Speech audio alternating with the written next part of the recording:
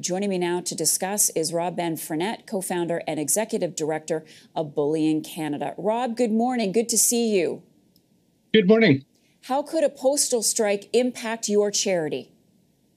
Uh, we'd be greatly affected by a postal strike. Uh, we receive about 95% of our donations by mail. Uh, our average donor is 75 years old. Uh, us, like most charities in the country, there's uh, about 86,000 of us uh, receive our donations by mail. And this time of year is um, our busiest time. So, unfortunately, this is happening at the worst time of the year and uh, we could, uh, as uh, most charities uh, have said, be greatly affected by any uh, mail uh, action, whether that's a full strike, rotating strike, um, work stoppage, any of those things. So, what's plan B? What are you telling your donors to do in the event that there is a disruption of service? So it, it, it's really tricky because most of our donors are elderly. Uh, they they don't have computers, uh, so uh, we are encouraging them to give us a call if they're interested in donating by credit card. Uh, we even have some donors who don't have credit cards and they simply mail checks.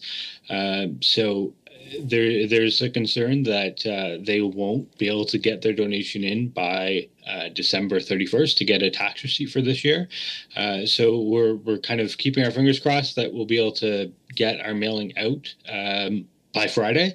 Um, so uh, letter shops and print shops are, are kind of doing their very best to get campaigns out within the next two business days.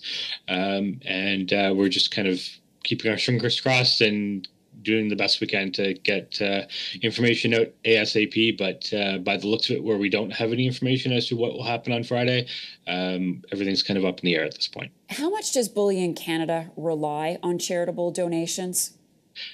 Uh, 100%. We don't rely. We don't receive any uh, government funding, so we're we're relying on uh, charitable donations from the general public uh, at 100%.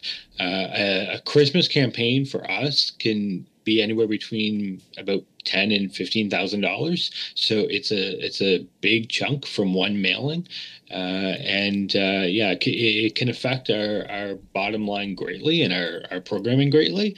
Um, so it's uh, it's a concern of ours, and it, it's a concern of the uh, charitable sector as a whole, uh, including food banks, uh, you know.